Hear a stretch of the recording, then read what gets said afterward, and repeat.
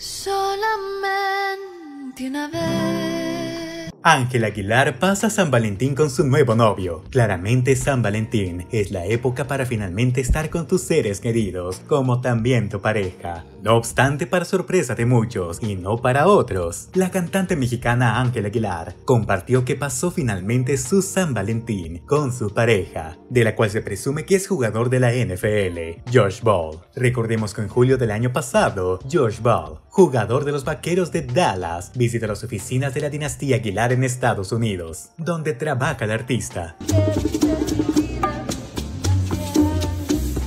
A partir de ese momento comenzaron las sospechas de la verdadera relación. Toda la información la dio a conocer finalmente Chamonix, quien, en su cuenta, fue el encargado de esclarecer todo lo que ha pasado con la romántica cena de Ángela. Chamonix compartió unas fotos que muestran lo que sería la romántica cita. Rápidamente las imágenes se volvieron virales en los clubs de fans. En ellas, veríamos a la hija de Pepe Aguilar y al futbolista de la NFL, gozando de su romántica y nada ostentosa cena la luz de las velas.